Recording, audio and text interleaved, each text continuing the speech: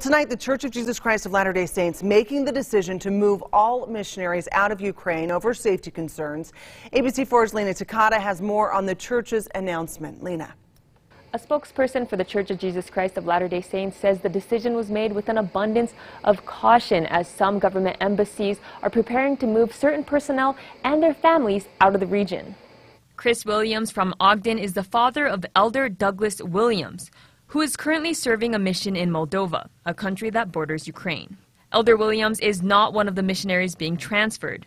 The church says that they're far enough away from the potential invasion. But is helping welcome the missionaries being transferred out of Ukraine into Moldova. He said about eight, including the mission president, are going to be coming, coming and arriving.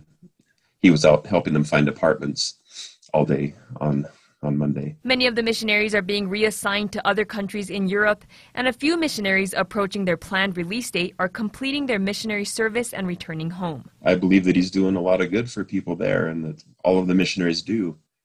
And the fact that they can't do that anymore just it, yeah, it mainly makes me sad. This comes after the State Department issued an advisory on Sunday warning people not to travel to Ukraine due to the increased threats of Russian military action and COVID 19. Uh, the worst part's been the buildup for the last several months.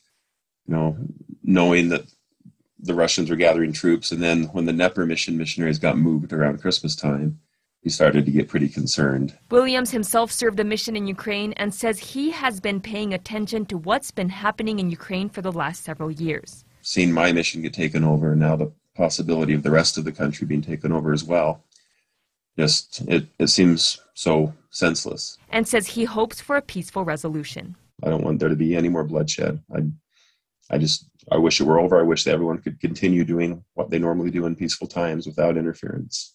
U.S. intelligence officials say they have information indicating Russia is preparing for a false flag operation in eastern Ukraine to create a pretext for an invasion.